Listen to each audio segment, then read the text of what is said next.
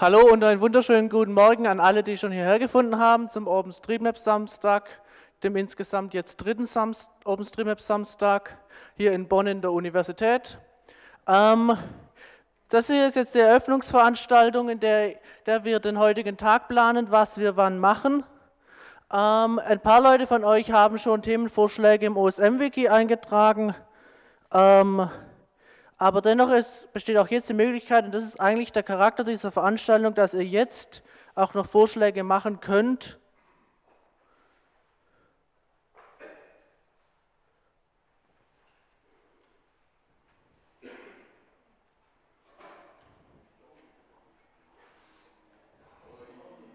Scheiß WLAN.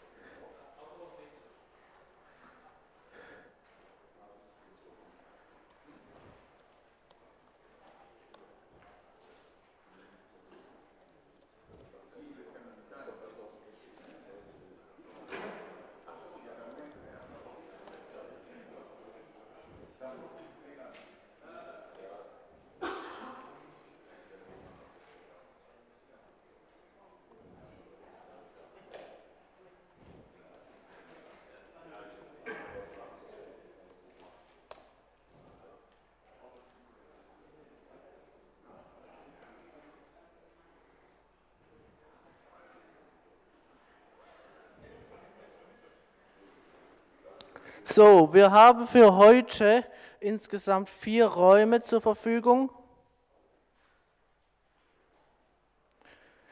Das ist zum einen der Alfred Philipson Hörsaal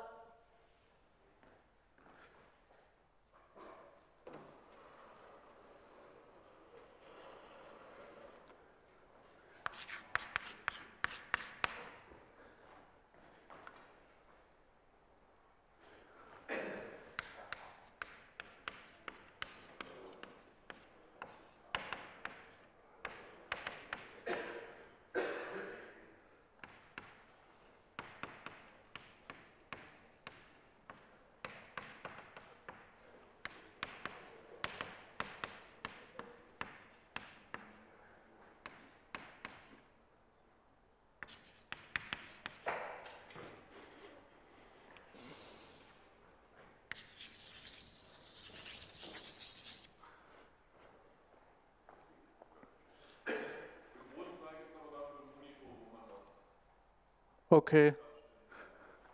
Und der funktioniert?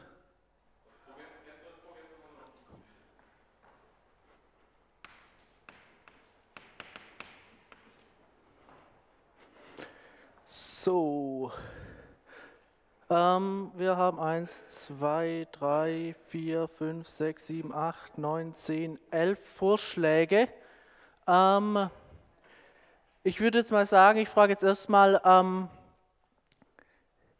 wie, hoch, wie groß das Interesse an einzelnen Vorschlägen ist. Fangen wir mal an mit der Qualitätssicherung und Erfassung von Adressen OSM. Wer interessiert sich dafür? Ja. Wir haben noch den QGIS-Workshop in Ü1, der über den ganzen Tag geht. Oder relativ lange, über mehrere äh, Stunden hinweg. Deshalb lasse ich den jetzt hier in der Tabelle weg. Ja.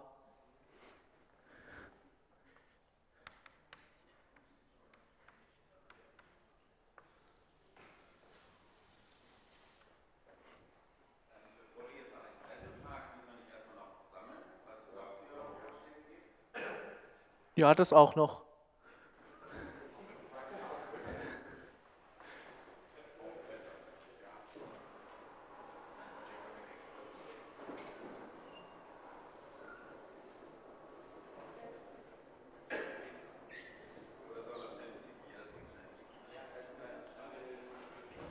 Möchtest du gern schnell Wiki-Tabellen editieren? Ja. Möchtest du schreiben? So, also guten Morgen alle zusammen. Eine kleine Information zum Gebäude. Das Gebäude ist mit einer automatischen Schließanlage versehen. Die schließt automatisch ab, deswegen sind alle wichtigen Türen blockiert. Und bitte die Blockierer nicht rausholen. Die Namensschilder gibt es unten im roten Saal. Und ansonsten wünsche ich viel Spaß beim OSM-Samstag.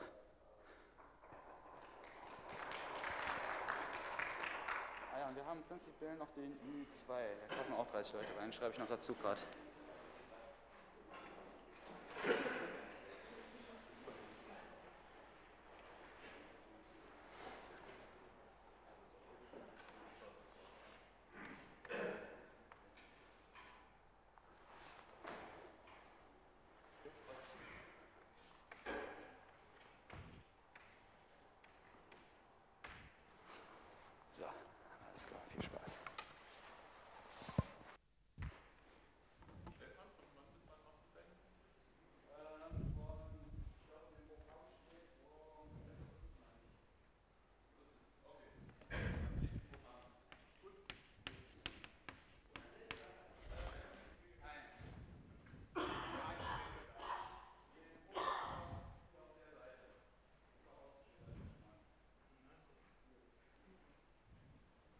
So, was.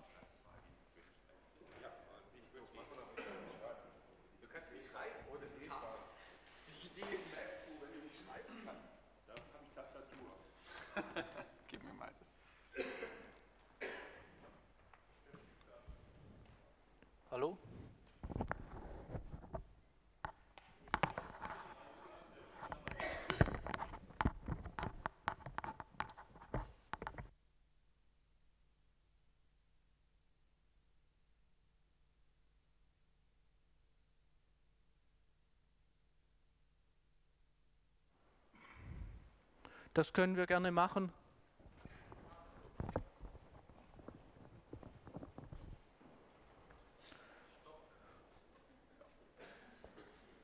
Also wer das Mikrofon will irgendwie nicht, oder?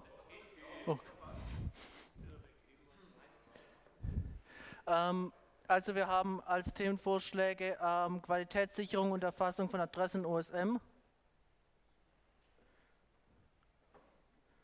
Ähm, wir haben Adresstypen und Adressgebiete. Harald, möchtest du da, dazu kurz was sagen?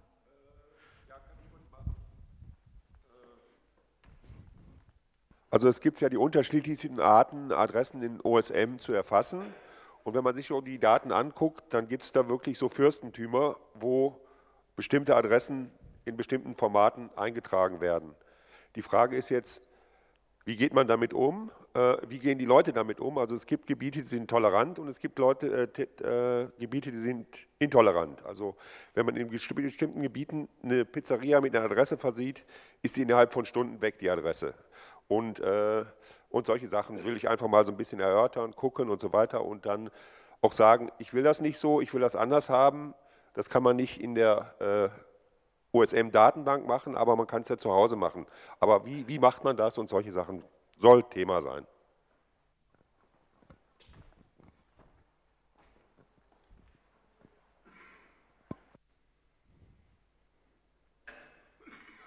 Dann haben wir von Christopher den Vorschlag, Diskussion seines Vortrags gut gemeint, schlecht umgesetzt von gestern und die, gegebenenfalls die Präsentation der Langversion. Kevin hat vorgeschlagen, die Nutzung von Dino-Daten zum Vergleich mit OSM. Jetzt darf ich mal fragen, was sind denn Dino-Daten? Das weiß ich selber nicht.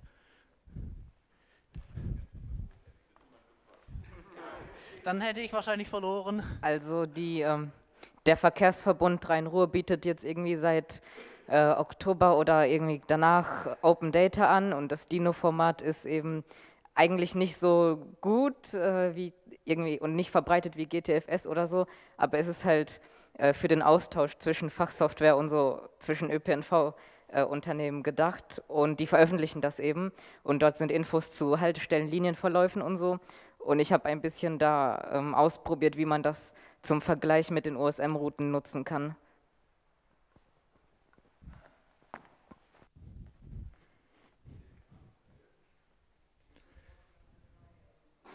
Dann haben wir auch von Kevin den Vorschlag, das Tagging von Fahrradnotenpunktnetzwerken, wie zum Beispiel Radrevier.ruhr.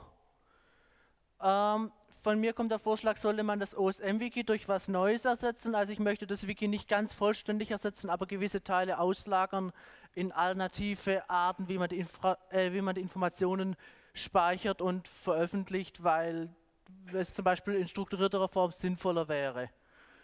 Ähm, Snoopo hat die Session vorgeschlagen, wofür mappen wir für den Renderer, Router, Menschen, Maschine ein bisschen von allem. Möchtest du dazu etwas sagen?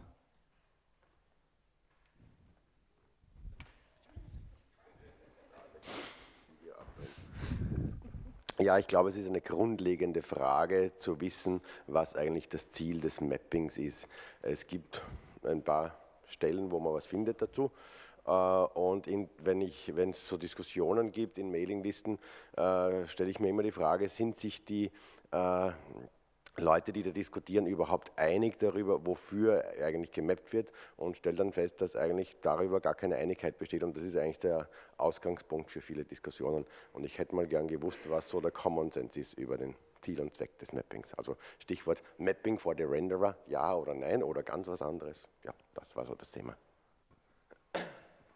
Ich habe die Session vorgeschlagen, eine eigenständige deutschsprachige OpenStreetMap-Konferenz. Da, darin möchte ich mit äh, Interessierten darüber reden, ob man irgendein Format neben der Foskes etabliert, das mehr die OSM-Community anspricht, weil der Anteil an OSM auf der Foskes-Konferenz mir persönlich zu niedrig ist.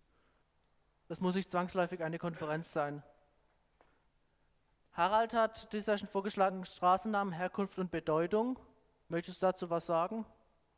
Ich glaube, das erklärt sich selbst. Äh, okay. Also Straßennamen sind nach Personen, nach, also Straßen sind nach Personen oder nach äh, Tieren oder sonst irgendwas benannt.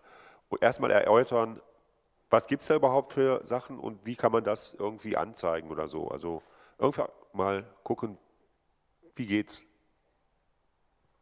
Auch von dir ist der Vorschlag Overpass und Overpass Turbo.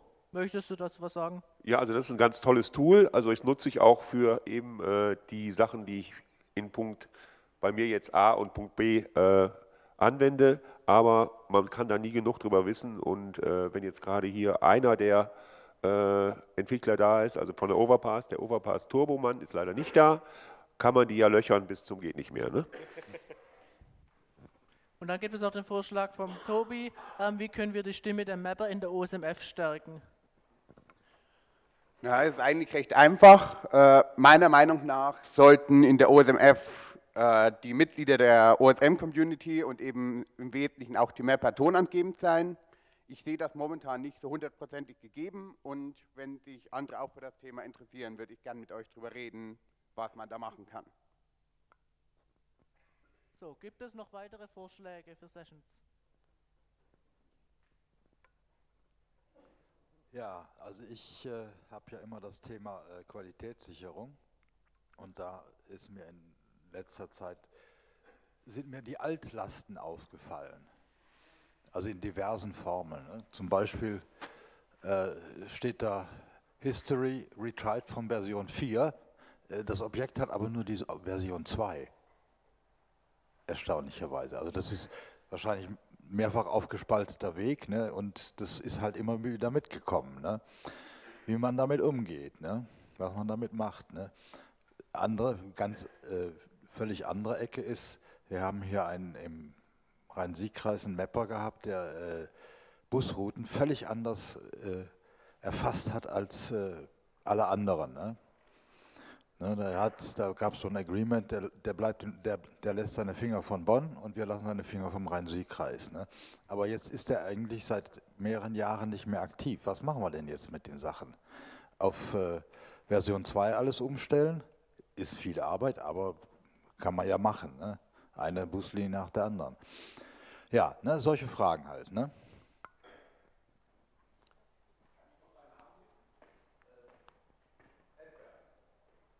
Edward. E-V-A-N-E. Groß E. Ja. N.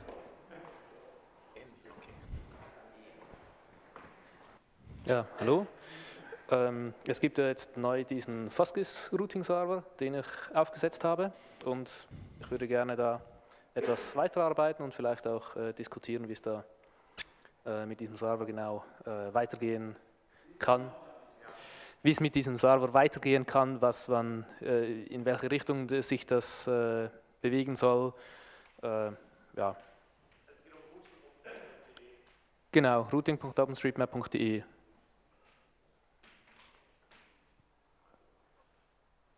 Datentelefon.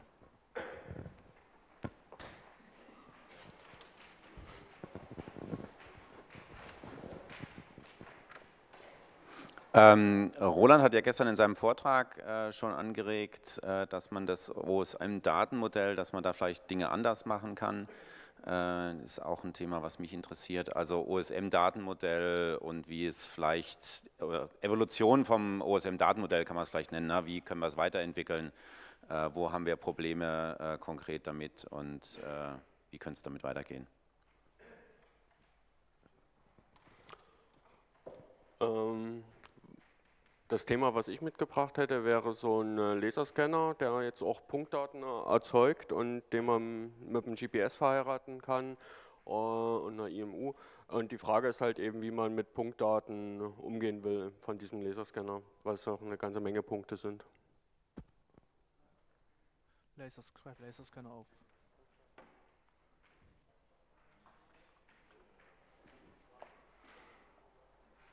Tim Alder. Tim Alder.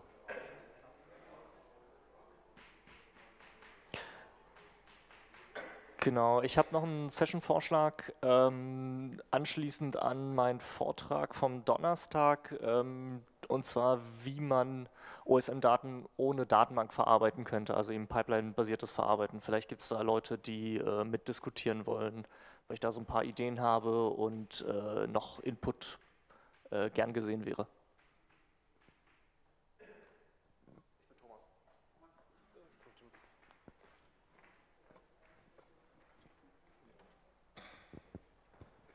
Ja, hallo, ich bin der Markus. Mir, der Lars und ich wollte so eine Session machen über die UMAP, weil wir da eine DE-Instanz uns vorstellen könnten.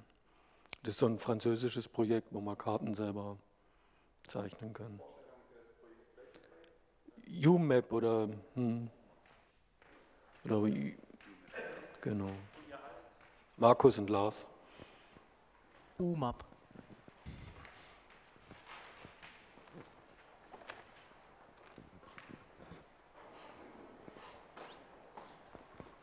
Äh, mein Themenvorschlag geht auch so ein bisschen in Richtung Qualitätssicherung, insbesondere um Vandalismusbekämpfung. Und da könnte man sich mal überlegen, hat man eigentlich ausreichend Tools dafür, das irgendwie in den Griff zu bekommen oder braucht man dann noch irgendwelche anderen Sachen? Es geht vielleicht insbesondere mal um so einen Erfahrungsaustausch. Auf den Pascal. Sonst noch Vorschläge?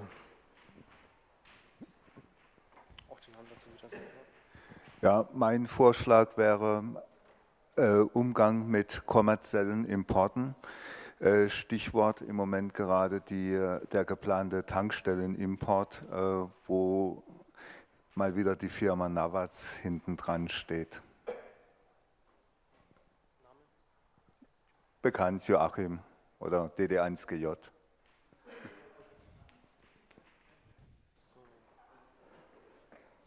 Sonst noch? Da unten. Ah.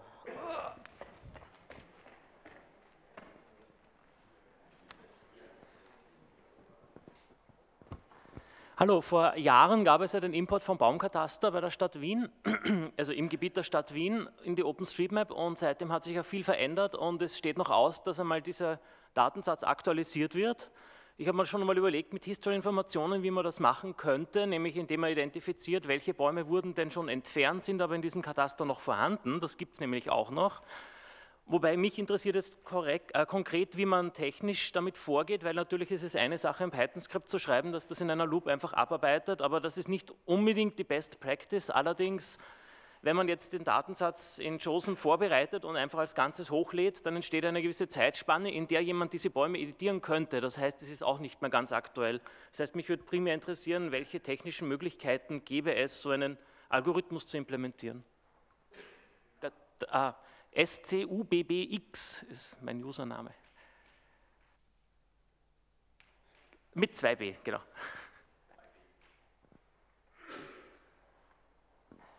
Okay, dann. Ich habe noch einen Vorschlag und zwar, ähm, In OpenStreetMap sind letztes Jahr einige Trekkingplätze, vor allem im Pfälzerwald und im Nordschwarzwald erfasst worden.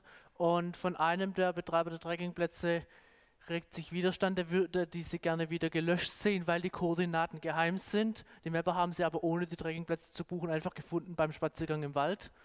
Und äh, da möchte ich diskutieren darüber, ähm, inwieweit wir mit ähm, Löschgesuchen wegen Geheimhaltung umgehen wollen oder ob unsere, Poli unsere Policy als Community da ist, ähm, Geheimhaltung gibt es bei uns nicht. Was man sieht, das mappt man, außer es ist ein Frauenhaus, das außen nicht ausgeschildert ist und man nur weiß, wenn man eine Frau ist, die schon drin war, dass da ein Frauenhaus ist.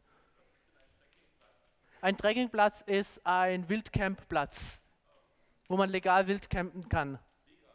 Legal. Das ist einfach da eine ein bisschen ebene Fläche, wo mal ein äh, bisschen dünnerer Baumbestand ist im Wald und eine Feuerstelle und ein Blumsklo. So ist die Einrichtung im Pfälzerwald.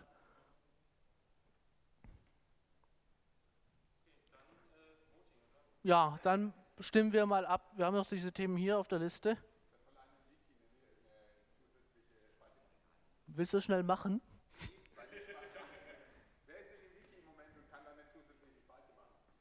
Das geht nicht so einfach.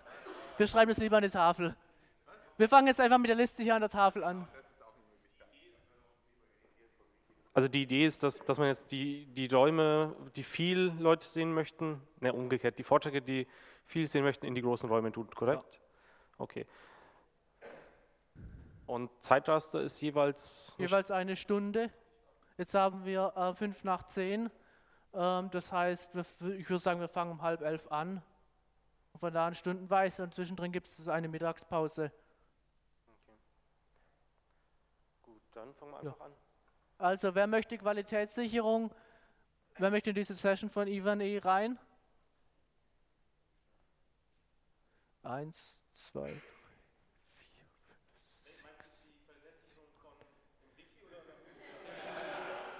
Ich bin auf der Tafel. Nochmal, wer,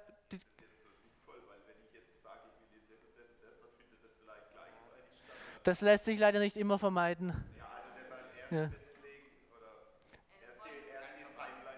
Wir, wir, zählen, wir, wir schauen jetzt mal, was das Interesse ist für die einzelnen Veranstaltungen.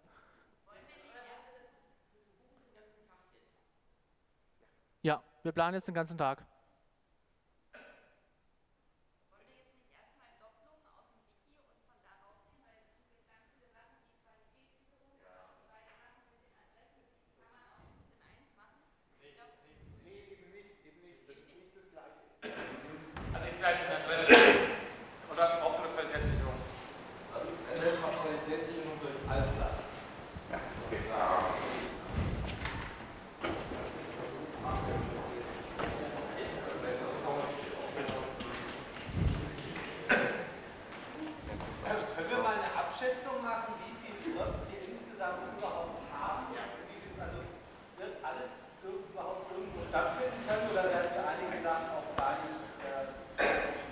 Also ich denke mal, wir können sechs mal vier Sessions unterbringen, also so 24 denke ich. Also das dürfte ausreichen.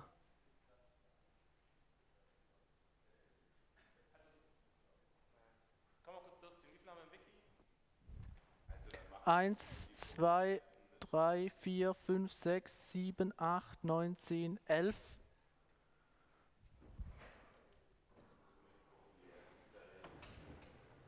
13, 14, 15, 16, 17, 18, 19, 20, 21, 22.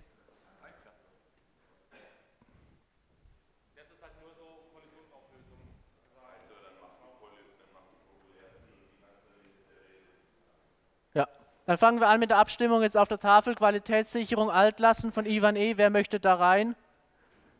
Eins, zwei, drei, vier, fünf, sechs, sechs. Foskis Routing Server von Datendelfin 1, 2, 3, 4, 5, 6, 7, 7. Evolution des OSM-Datenmodells von Jochen 1, 2, 3, 4, 5, 6, 7, 8, 9, 10, 11, 12, 13, 14, 15, 16, 17, 18, 19, 20, 21, 22, 23, 24, 25.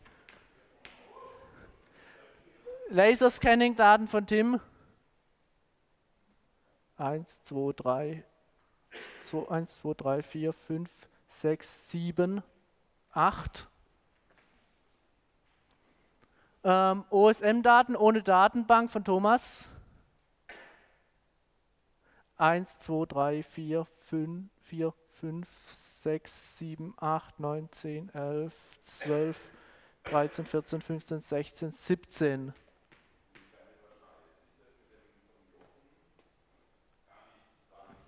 Thematisch gar nicht, höchstens die gleichen Leute, die rein wollen. Ähm, Vorstellung von UMAP. 1, 2, 3, 4, 5, 6. 1, 2, 3, 4, 5, 6, 7, 8, 9, 10, 11, 12, 13, 14, 15, 16. Erfahrungsaustausch, Qualitätssicherung, Vandalismusbekämpfung von Pascal. 1, 2, 3, 4, 5, 6, 7, 8, 9, 10. Kommerzielle Importe von Joachim.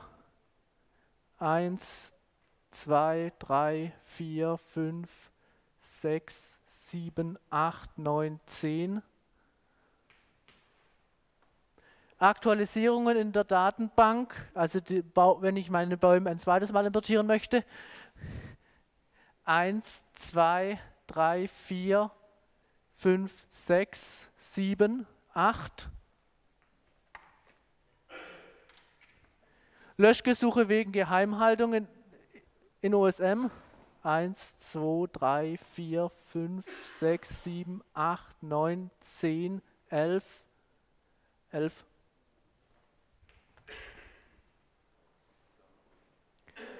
Sonst musst du jetzt wieder auf die Tafel schreiben. Okay.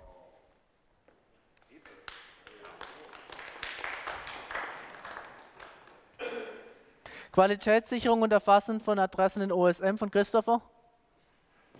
1, 2, 3, 4, 5, 6, 7, 8, 9, 10, 11, 12. Adresstypen und Adressgebiete von Harald. 1, 2, 3, 4, 5, 6, 7, 8, 9. Ähm, gut gemeint, schlecht umgesetzt. 1, 2, 3, 4, 5, 6, 7, 8, 9, 10, 10. Ähm, Nutzung von Dino-Daten zum Vergleich mit OSM. 1, 2, 3, 4, 5, 6, 7. 7. Tagging von Fahrradknotenpunktnetzwerken. 1, 2, 3, 4, 5, 6, 7, 8, 9, 10, 11, 12 das OSM-Wiki ersetzen. 1, 2, 3, 4, 5, 6, 7, 8, 9, 10, 11, 12, 13, 14, 15, 16, 17, 18. Wofür mappen wir? 1, 2, 3, 4, 5, 6, 7, 8, 9, 10, 11, 12, 13. Eine, 13. Ja, ich. okay, ich habe mich nicht mitgezählt. Eine eigenständige deutschsprachige OSM-Konferenz. 1, 2, 3, 4, 5, 6, 7, 8. 8. Ähm, Straßennamen, Herkunft und Bedeutung. 1, 2, 3, 4, 5, 6, 7. Overpass und Overpass Turbo. 1, 2, 3, 4, 5, 6, 7, 8, 9, 10, 11, 12, 13, 14. Und die Stärkung der Stimme der Mapper in der OSMF. 1, 2, 3, 4, 5, 6, 7, 8, 9.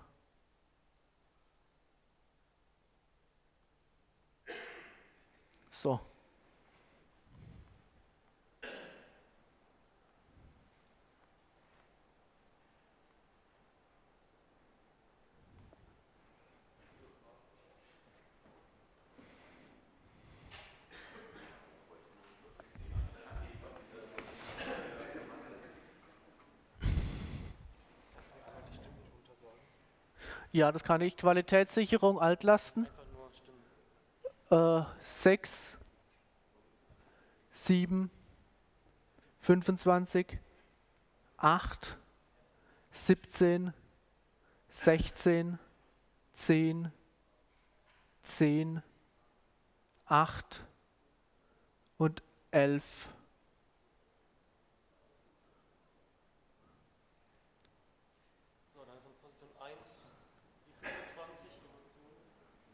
jetzt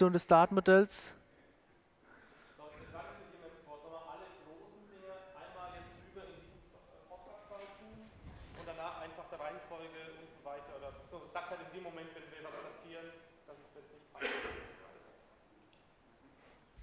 Ja, dann würde ich Ach- sagen, wir Achtet mal bitte drauf, dass ihr äh, einige Vortragende habt, die äh, mehrere Themen vorstellen wollen. Das können sie nicht gleichzeitig. Ja, und äh, hier in diesem Saal gibt es auch eine Videoaufzeichnung. Das heißt, wer seinen Vortrag aufgezeichnet haben möchte und genügend Interesse, Interessenten hat, den sollten wir hier reintun. Und wer nicht aufgezeichnet werden möchte, da ist es vielleicht besser, er geht in einen anderen Raum. Wenn ich jetzt so auf die Anzahl der Interessenten jeweils schaue, dann dürften eigentlich alle Räume ausreichen. Was? Das zieht sich über den ganzen Tag hinweg. Oder relativ lange. Ja, das ist ja Ü, Ü, Ü1 ist Rechnerraum.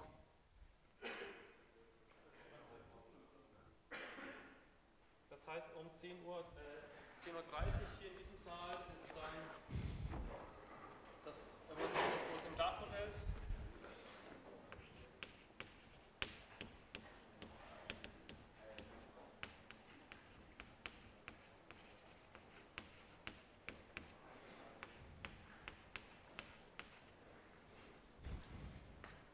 Dann El- 11.30 dann, äh,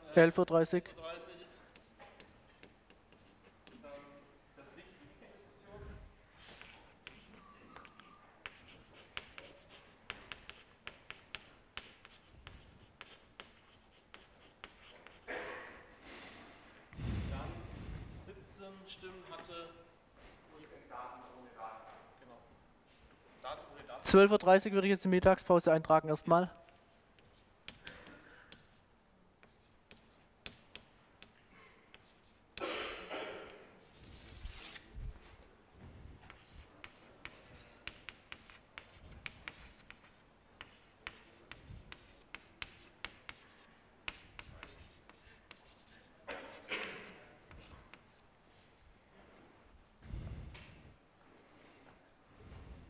Dann äh, 16 hatte die Lume.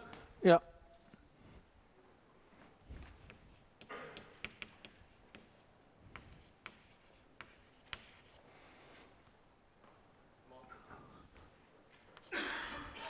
Dann haben wir zwei 14. Der Computer hat entschieden, jetzt macht es so für Mappen hier. Und was ist das andere? Das andere ist Overpass Turbo. Äh, okay. Oder was möchtet ihr zuerst haben? Overpass Turbo oder das, wofür mappen wir?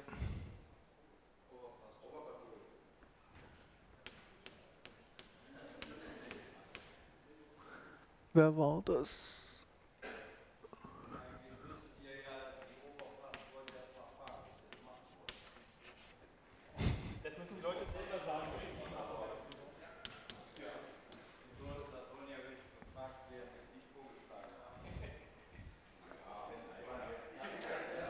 So, jetzt noch den letzten Slot in dem Raum. Was? Wofür wir?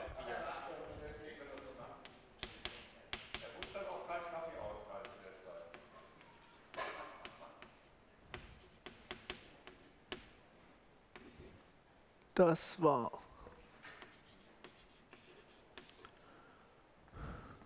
Dann haben wir 2 mit 12.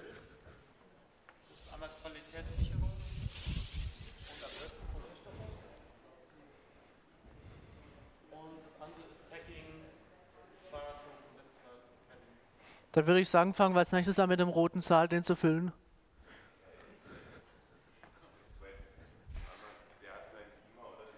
Der hat einen Monitor dafür.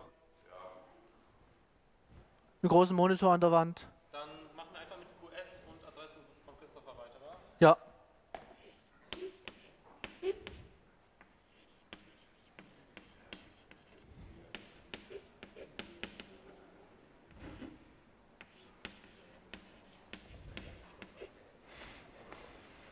Dann nächste ist dann Radrevier, Tagging von Kevin.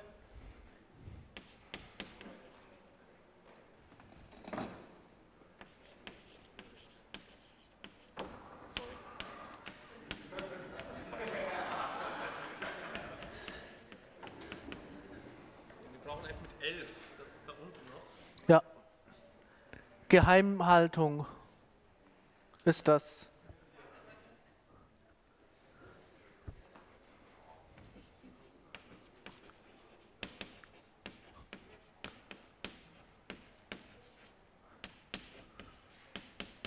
Dann haben wir 3 mit 10. Das ist einmal hier. d- d- d- Einmal Gut gemeint, schlecht umgesetzt. Dann haben wir ähm, Erfahrungsaustausch, Qualitätssicherung, Vandalismusbekämpfung und kommerzielle Importe.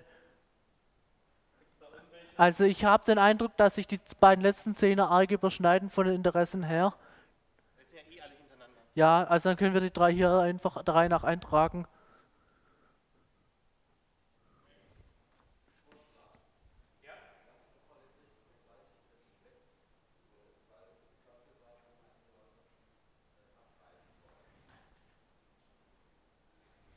Du meinst, dass wir das hier hinsetzen?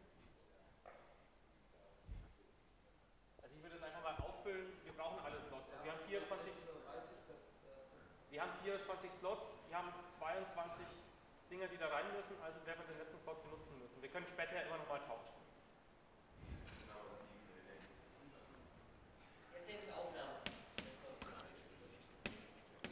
Dieser Raum ist eine Aufnahme.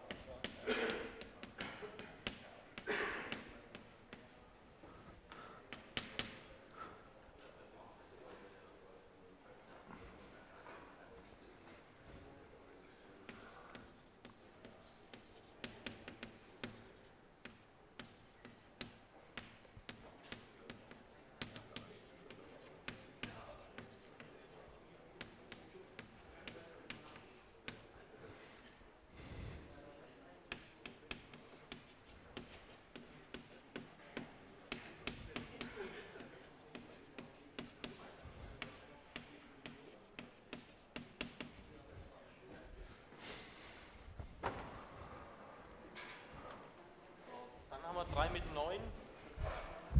Besteht denn äh, größeres Interesse, vielleicht die Vorträge im Roten Saal auch aufzuzeichnen? Wir könnten dann eventuell auch einfach noch eine Kamera und ein Audiocase reinstellen. Ähm, Wäre halt mehr Aufwand, müsste man Leute hinpacken. Würde da Interesse für bestehen?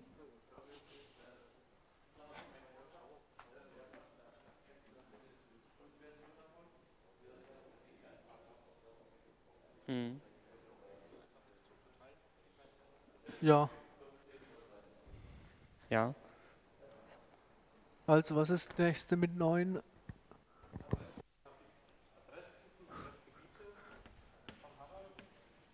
Das passt nicht, das beißt. Warte mal, dann schreibe ich das hier gleich hin. Dann Stimme der Mapper bei der OSNF steuern.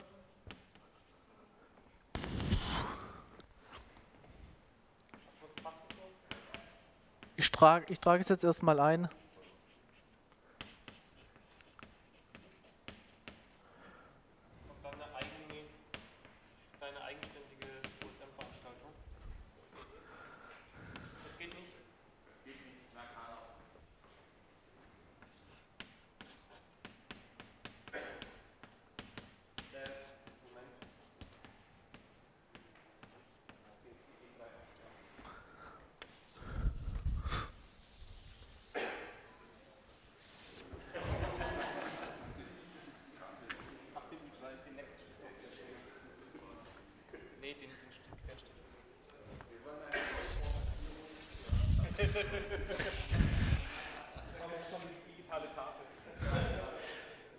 Die muss erstmal booten.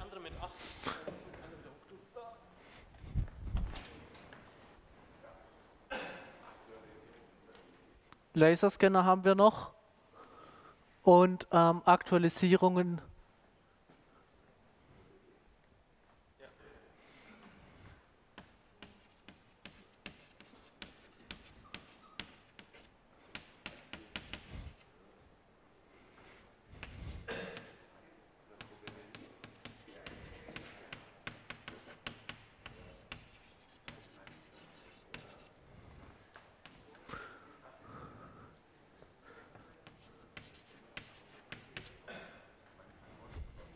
Dann haben wir noch äh, drei mit sieben, sieben, genau. ÖPNV, Dino von Kevin.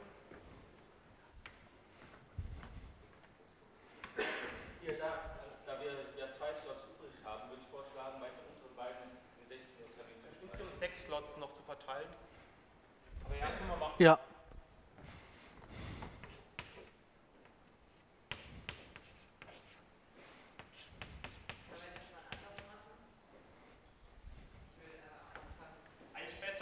Später. Ja, das können wir. Dann hier.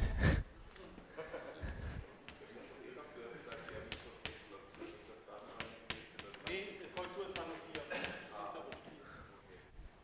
So, dann äh, nächste mit sieben ist Straßennamen, Herkunft und Bedeutung. Und hier haben wir noch ein sieben Routing auf osm.de.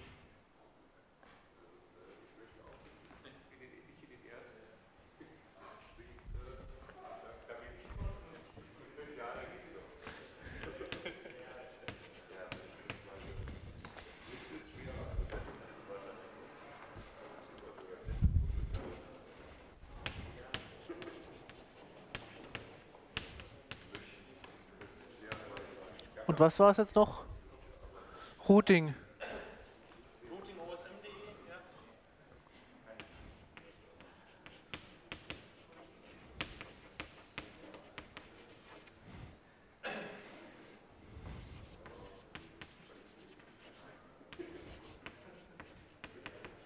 Wir noch die Altlasten von Leber G. Wo möchtest du hin? In welchen Slot möchtest du? Hier oder da?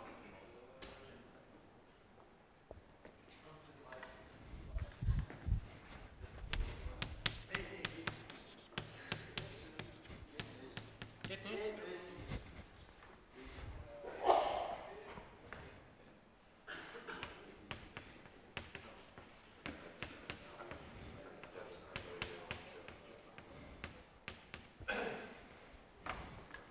Okay, dann haben wir hier alles verteilt. Dann können wir loslegen, oder? 11, 10.30 Uhr. Kann das mal jemand